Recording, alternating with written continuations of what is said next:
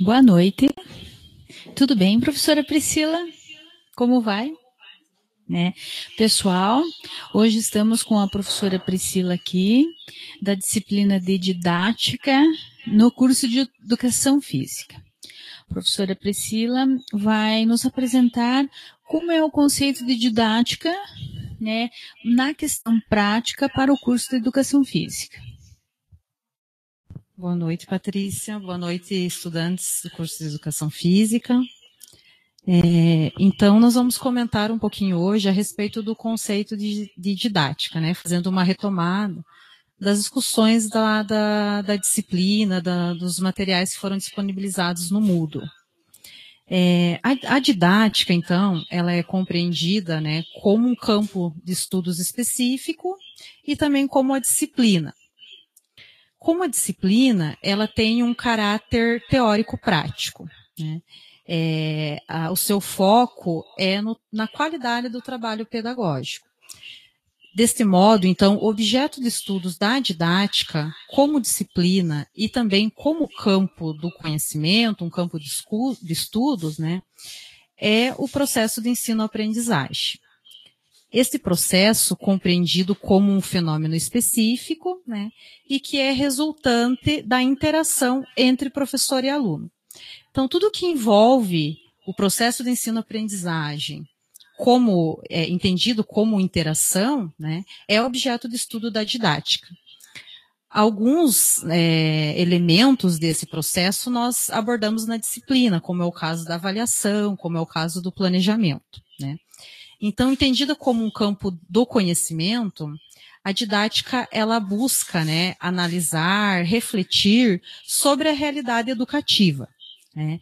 É, compreendendo então a, a, o contexto educativo como um contexto dinâmico, né? E propõe também né, ações para a melhoria do processo ensino-aprendizagem. Esse termo didática, como nós conhecemos atualmente, ele já ele tem origem do grego, né? Já foi utilizado anteriormente com o conceito de didatike, né? É a arte de ensinar. É, porém, ele foi consagrado por João Amós Comênios, né? que é considerado o pai da didática, que publicou lá no século XIX a Didática Magna, né? Que tinha como objetivo, né, ensinar a arte de ensinar tudo a todos. É, o Comênios ele foi considerado como o pai da didática, né, porque ele foi o primeiro, a, a, o primeiro educador a tentar construir aí a, uma ciência da educação. Né?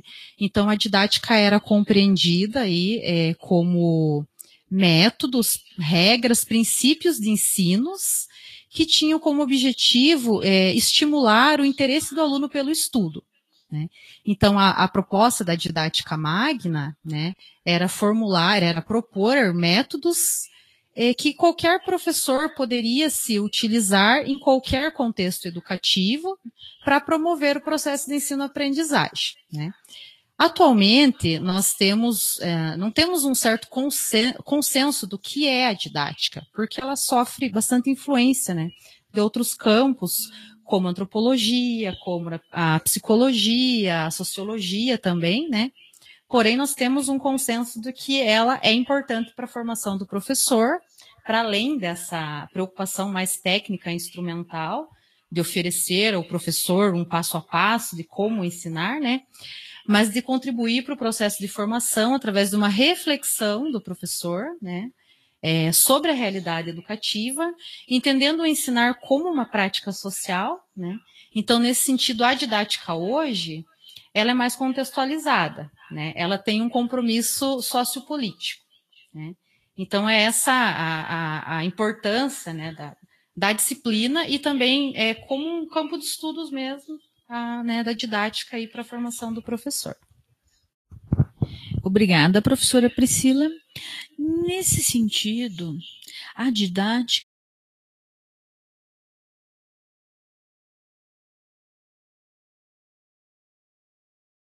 um pouquinho. Pode nos falar sobre esse processo didática e professor, professor didática que anda muito junto, né? Em alguns contextos a gente, não sei se o pessoal pode até confundir é, que hoje existe assim uma pluralidade de conhecimento, como você falou. A didática tem que estar contextualizada, certo? De repente é, entra algum professor, às vezes ele não tem uma postura didática, de repente ele não tem os meios, né, para chegar até o aluno. Ele tem o conhecimento, tem é, a maneira, o processo de aprendizagem, mas ele não tem, é, dizem assim, ele não sabe ensinar. Esse contexto é a didática? Então, Patrícia, realmente, é bem essa questão que você colocou, né? É, muitas vezes os alunos do curso de, de licenciatura, do curso de, de, graduação, eles têm uma. É, eles é, acreditam né, que a didática vai ser suficiente para fornecer aí, né, toda essa, essa metodologia, essa é, instrução, digamos, para que ele possa desenvolver uma aula, para que ele possa dar uma boa aula nós mesmos já falamos algumas vezes, ah, esse professor não tem didática, né? Quando nós queremos dizer que o professor tem o um conhecimento específico, né? Ele, ele sabe é, é, o conteúdo específico da sua disciplina, porém ele não sabe dar aula ou colocar isso em prática, é, fazer com que o, o, o aluno realmente compreenda esse conteúdo, né? Então, digamos que esse processo faz parte né, da, da didática. Porém, a didática não, não se reduz somente a isso. Né? A disciplina ou o campo de estudos não tem como objetivo fornecer esse passo a passo para que realmente o professor é, consiga dar uma boa aula em, em qualquer contexto educativo.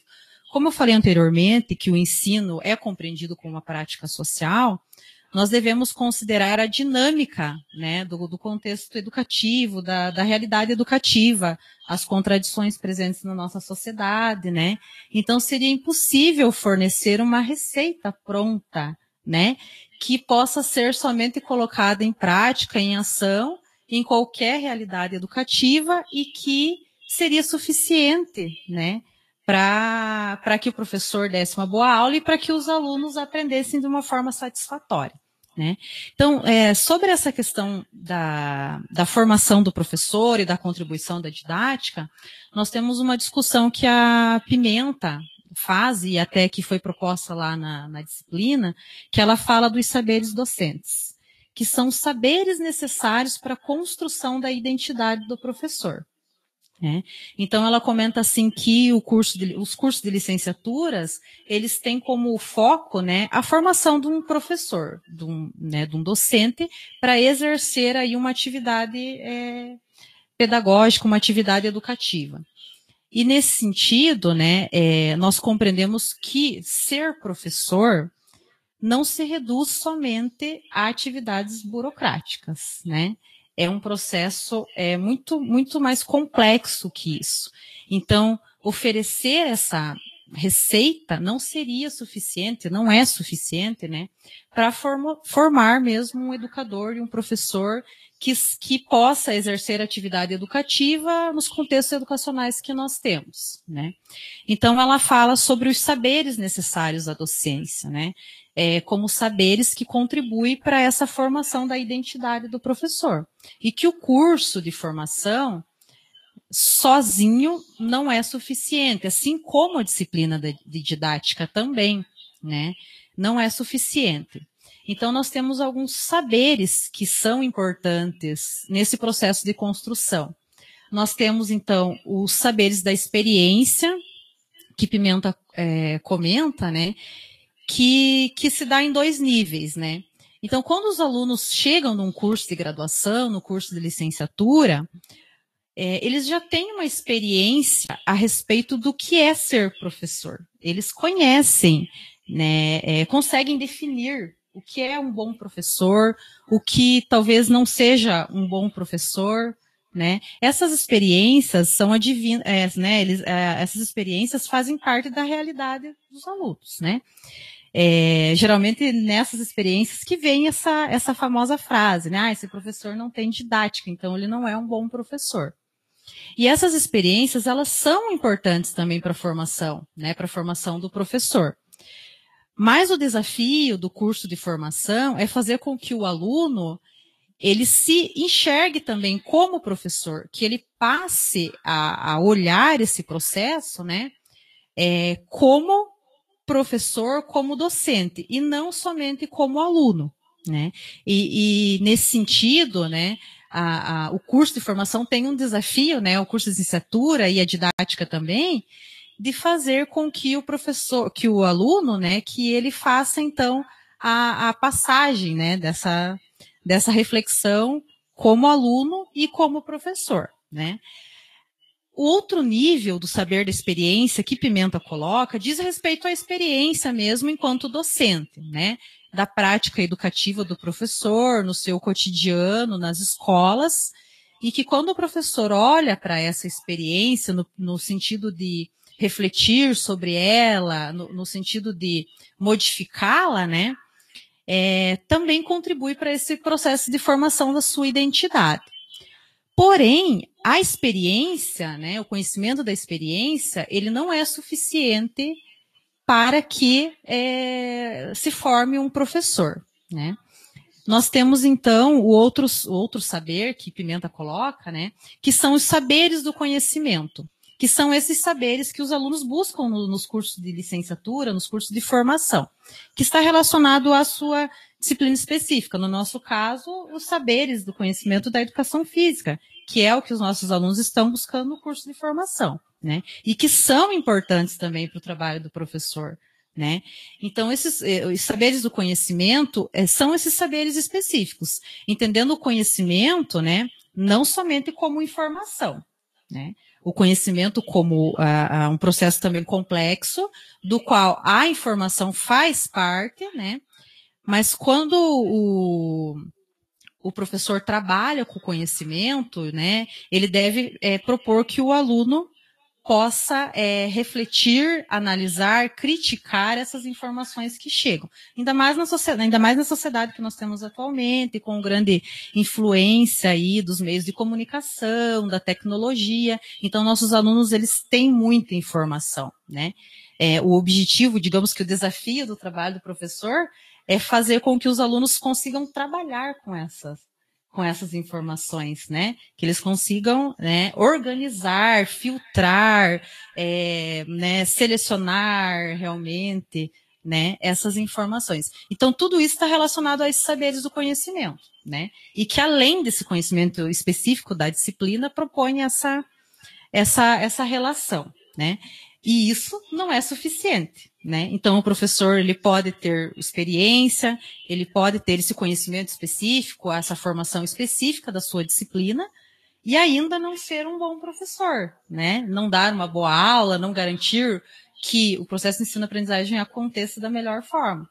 Então Pimenta coloca também os saberes pedagógicos, que está também relacionado mais com a nossa disciplina, né, de didática aí que é, é, esse processo de reflexão sobre a sua prática, né? Ou é, os saberes didáticos pedagógicos também, que diz respeito a, a o professor olhar para a sua experiência, né? Refletir sobre ela e também modificar a sua ação, observando o que deu certo, o que não deu. Então, esse saber pedagógico, né, esse saber didático, é, esse saber didático pedagógico, ele se constrói muito durante a prática, né? Então, digamos que a prática, nesse sentido, seria o ponto de partida, né? E também o ponto de chegada.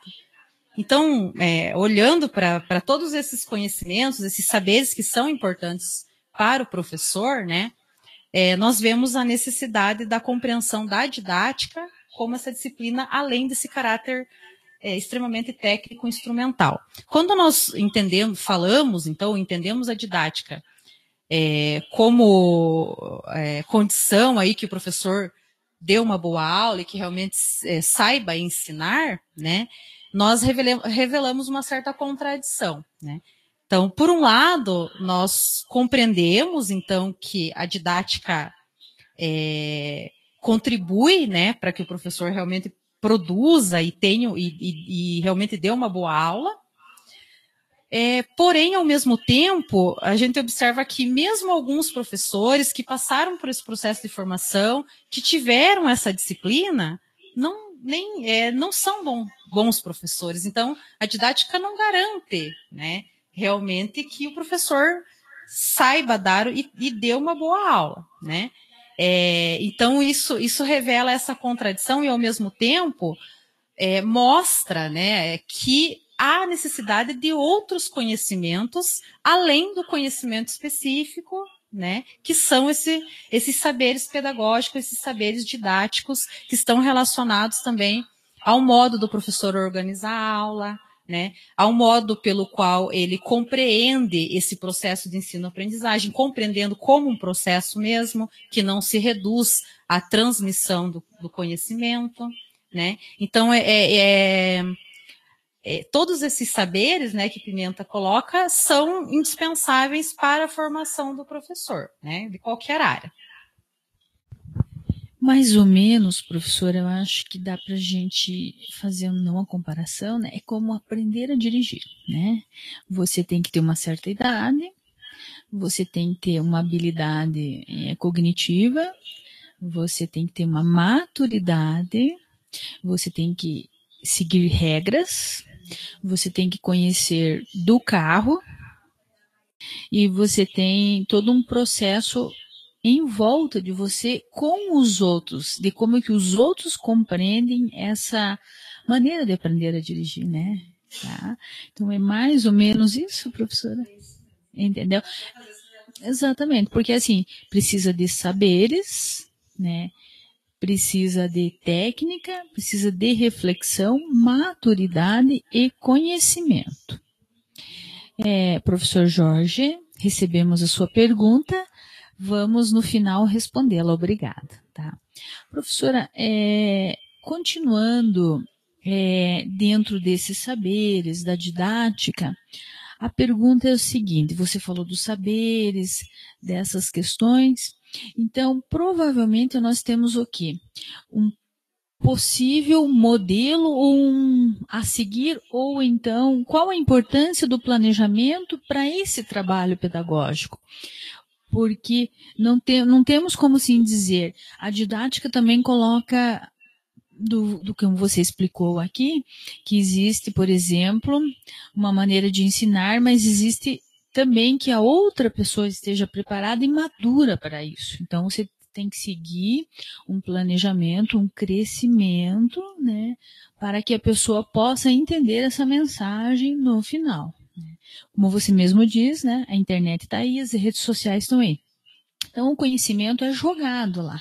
Então, você, através da didática dos autores, né, dos saberes, você tem que filtrar qual é a mensagem que naquele momento está relacionada para a sala de aula e vai poder ser ensinada, né? Porque nas redes sociais nós temos assim, informação. E o que é aquela informação? Né?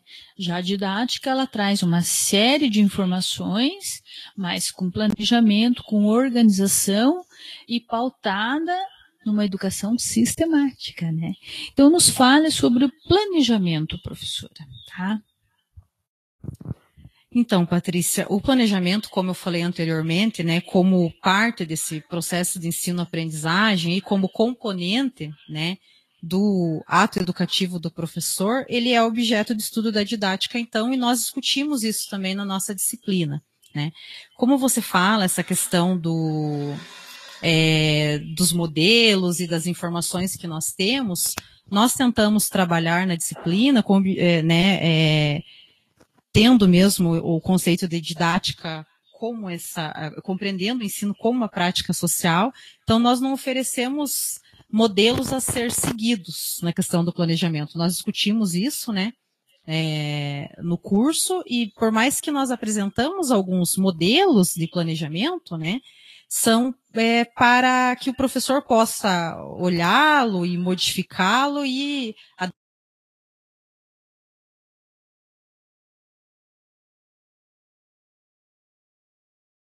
e que os professores vão colocá-lo em prática aí é, em qualquer escola, em qualquer instituição de ensino que vai dar certo, né?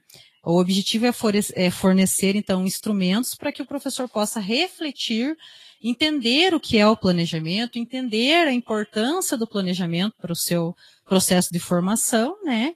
E possa elaborar, né, os seus planejamentos. Então, nesse sentido, nós partimos da discussão de que o planejamento, ele é a espinha dorsal do trabalho do professor, né? Porque ele vai dar uma sustentação para tudo isso que nós comentamos até, até agora, a questão da, é, da importância da, do professor ter o domínio do seu conhecimento, é, né, do, do, seu campo específico, do professor ter o domínio da, das estratégias, das metodologias de ensino e de ter a intencionalidade também é, no ato educativo, ele precisa organizar essas ações, né? Então, nós, temos, nós compreendemos o planejamento aí como a né, espinha dorsal que dá sustentação ao trabalho do professor. Então, nesse sentido, nós entendemos que o planejamento ele vai além do que uma atividade burocrática, né, que se, se reduz aí ao preenchimento de formulários, à organização do planos e que é, não terá função, sentido nenhuma na sua prática, né? O, o, planejamento ele deve ser compreendido mesmo, né? Como o resultado das ações aí do, do processo de planejamento e na realização da, da ação didática do professor, né? É, porque a partir do planejamento, o professor vai conseguir refletir sobre as suas ações, né? E também modificar as suas práticas a partir dessa reflexão. Né? nesse sentido, ele contribui para que o professor desenvolva esse trabalho sistemático, né, esse trabalho coletivo a partir do planejamento. Na disciplina, nós temos, nós temos uma discussão a respeito de vários tipos de planejamento que nós temos na escola e que todos eles são importantes para o trabalho do professor, para a sua ação educativa. Né? Nós temos o projeto político-pedagógico, que é o documento de identidade né, da escola, que o professor precisa ter conhecimento desse, desse documento para que ele possa elaborar o seu planejamento específico, né, da sua disciplina, porque nesse documento, no PPP da escola, é que vão estar as concepções que a escola assume a respeito do ensino, a respeito é, da sociedade, do aluno. Então, para que o professor possa desenvolver o seu planejamento específico da sua disciplina, ele precisa saber, né, saber quais são as opções da escola, o que a escola compreende como é, função da escola, como a, a, concepção de aluno, de avaliação, tudo isso faz parte do processo do planejamento do professor, do, do plano individual. Nós temos também a proposta pedagógica curricular, que se refere mais aos conteúdos específicos né, da disciplina. Nós temos o plano de ação da escola, nós temos também o plano de trabalho docente, que nós vimos na disciplina, e que é um plano um pouco mais amplo, que o professor desenvolve para um determinado período de tempo, de, dependendo da organização das escolas, por bimestre, por trimestre. E nós temos também o plano de aula, que é um plano mais específico, né, no qual o professor organiza de acordo é, com a sua disciplina e também para um espaço de tempo menor, ou para uma aula, para duas aulas, ou uma sequência de aulas. Então, todos, todos esses é, planos fazem parte do planejamento do professor, né? É, assim, de uma forma geral, quando nós falamos em planejamento, nós precisamos responder algumas questões ao elaborar o seu planejamento, dentro dessa perspectiva do ensino como prática social. Né? Então, nós precisamos, precisamos compreender ou responder, né? Para que vou ensinar, que está relacionado ao objetivo de ensino, né? Qual que é o meu objetivo, qual que é o objetivo da minha disciplina específica, que eu espero, né, dessa disciplina, é, para a formação do meu aluno. Para que é, vou ensinar que é intencionalidade educativa, né? Qual que é o sentido dessa, da, dessa formação para o meu aluno, desse conteúdo? Como que eu vou ensinar? Se diz respeito à metodologia de ensino, que o professor precisa também ter o domínio teórico e prático das metodologias e variá-las, né, é, considerando a diversidade de alunos que nós temos, a né, questão de dificuldades de aprendizagem, a heterogeneidade mesmo de alunos que nós temos, então precisamos dessa diversificação das metodologias. É, com que vou ensinar, que são os recursos didáticos, que se refere aos instrumentos mesmo que são necessários, né? Se o professor organizou uma aula teórica, que tipo de, de instrumento ele vai utilizar? Vai usar um data show, um quadro, né? Se ele vai fazer uma aula prática, que é uh, o exemplo da educação física, que tipo de material que ele vai usar? Bola, quadra, cone, corda, né? Que se refere então aos recursos didáticos e a questão da avaliação, que também é uma outra discussão que nós fazemos e que no momento do planejamento o professor também precisa ter essa, né, esse conceito do para que que ele vai avaliar, o que que ele vai avaliar, como ele vai avaliar o aluno. Então, todas essas discussões fazem parte do planejamento. Entramos aqui numa outra discussão interessante, né? Eu sempre falo que o processo avaliativo, né, a prova, ela é tão temerosa, né? É como se fosse um, é, algo que, alguma porta que a gente tem que passar, né, e alguma dificuldade, né. É, nós falamos em processo avaliativo, então existem várias maneiras de você avaliar. É, assim, professora, é, é quão tão importante o plano de aula, né, a didática, é importante a avaliação porque não, nós temos que quantificar isso ainda. Nós temos um modelo ainda que temos que quantificar, né? Então, a avaliação e como ela ocorre, os processos avaliativos na educação básica. Qual que é o caminho que nós podemos trabalhar? Então, a avaliação também como parte integrante do processo de ensino-aprendizagem, né, objeto de estudo da, da didática, é um, um, um processo bastante complexo e que nós discutimos muito a questão da avaliação e o sentido da avaliação na prática do professor. Como a Patrícia comentou, nós temos essa concepção atualmente que a avaliação se reduz a provas, né? E que o seu objetivo é quantificar o saber dos alunos. Infelizmente, nós não, não, não podemos fugir totalmente disso, porque nós temos um sistema que nos impõe, né, que devemos colocar, temos que colocar uma nota, né, é, temos os boletins escolares, então faz parte desse processo também, né. É, em algum momento nós precisamos colocar isso em números. Mas na prática do professor, a avaliação não não pode, né, não, de, não deveria se reduzir somente a essa quantificação. Né? Quando nós falamos em avaliação como parte do processo de ensino-aprendizagem, nós já temos uma concepção de avaliação.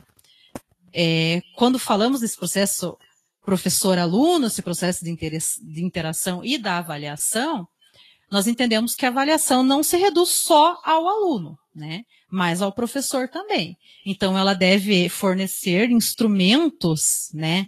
É, é, que sejam importantes e suficientes para que o professor possa analisar também a sua prática, né? E é, modificá-la, observar quais que são as dificuldades do, dos alunos e como ele, como professor, pode é, contribuir realmente para que o, o aluno aprenda, para que o aluno tenha acesso ao conhecimento. Então, nós temos alguns conceitos de avaliação que nós trabalhamos também na disciplina, né? E que fazem parte aí da educação básica, da, da, da nossa realidade educativa, né? Nós temos a avaliação diagnóstica, que tem como objetivo fazer um mapeamento da aprendizagem do aluno, né? Geralmente essa avaliação, ela ocorre no início do ano letivo, né? No início de um curso, que o professor vai buscar, então, o conhecimento é, das dificuldades que o aluno tenha, né, sobre esse conteúdo, sobre a disciplina específica, para que isso possa ser o seu ponto de partida, né? Para que a partir dessa, desse mapeamento aí do conhecimento do aluno, ele possa desenvolver o seu planejamento. Né? Nós temos também o conceito de avaliação somativa, né? que é, geralmente ocorre no final do processo, né? É, que é, na maioria das vezes esses resultados eles servem mais realmente para quantificar né, o conhecimento do aluno e que é o que nós temos de uma forma geral aí na educação básica, na, nas escolas, a avaliação somativa. E a avaliação formativa, que é um conceito mais amplo mesmo de avaliação, né? E que deve ocorrer em todo o processo de ensino-aprendizagem. Então, quando nós vemos lá os modelos de planejamento, geralmente a avaliação está por último, como se fosse o último, a última etapa ou né, o último processo. Porém, com esse conceito de avaliação formativa, nós entendemos que ela deve ocorrer durante todo o processo, né? No, na, no, em todas as aulas, o professor vai estar observando o desenvolvimento do aluno, né? Tendo como parâmetro o, o desenvolvimento individual mesmo, então, avaliar o aluno em relação ao seu desenvolvimento e não em comparação ao outro, né? É, nesse sentido, nós estamos realizando uma avaliação formativa e uma avaliação inclusiva, porque o objetivo dela é trazer todos os alunos para o pro processo de ensino-aprendizagem, é fazer que realmente todos os alunos tenham acesso ao conhecimento. Quando nós é, utilizamos somente essa avaliação somativa, que se reduz a números, né, nós estamos contribuindo para uma é, né, avaliação é, que exclui, né, porque o aluno que atingiu a média, ele é aprovado, né, e o aluno que não atingiu é reprovado. Então, nós estamos retirando o aluno do processo. E essa discussão que nós fazemos, né, em relação à avaliação e que, e que é importante que o professor reflita, né, que não, é, não podemos fugir aí das determinações legais, né, que nós precisamos ter uma nota, um conceito, né? Mas isso precisa fazer parte do, do, do trabalho como um processo e não somente como, né? É, é como, como, fosse, como se fosse a, a etapa final, né? Que seria só mesmo decidir sobre a aprovação ou reprovação dos alunos. É, Professora, interessante, né? Só um, complemento que veio uma outra pergunta que nós estamos conversando sobre a disciplina. A avaliação não é somente do aluno, né? É também do professor também, né? Então, o processo avaliativo é um processo, é, esqueci a palavra agora aqui, mas é, não é dual, é que é tanto do aluno como do professor. Né? Se o professor ele passa um conteúdo e no, no, no momento de repente uma mensagem, um, um, conteúdo sistemático foi colocado e não foi muito bem entendido, também não é, não é só do aluno, né? Você observando todos esses quesitos dentro da disciplina, como você colocou. Você teve um planejamento, teve um ponto de chegada e um ponto de um ponto de partida um ponto de chegada, todo esse processo também, né? Então a avaliação é uma coisa assim, antes ela era uma avaliação unilateral. Isso, essa é a palavra que eu queria fazer. Hoje não. Hoje ela é uma avaliação de ambas as partes e do modelo pedagógico adotado, do plano de aula, dos saberes pedagógicos, né? Interessante. Professora, é, no avaliação de sua disciplina, teve um plano de aula. Você quer comentar um pouquinho ou não?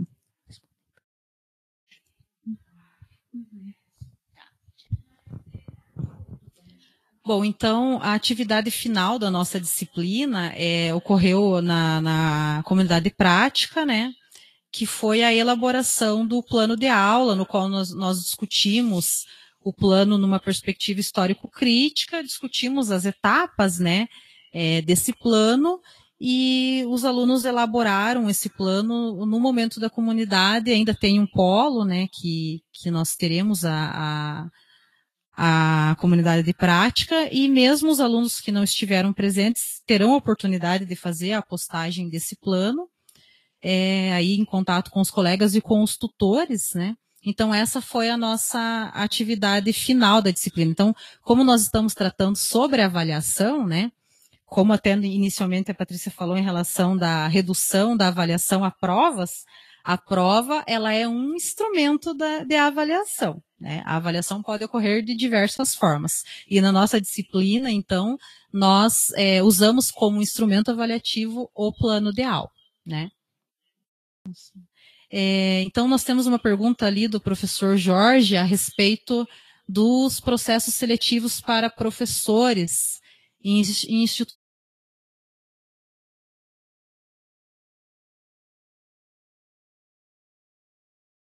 Então, é, nós precisamos é, é, remeter à legislação, né? A lei de diretrizes e bases ainda coloca como a formação para atuar como educação infantil e ensino fundamental, a formação inicial é a formação docente, o curso de magistério, o antigo magistério, né?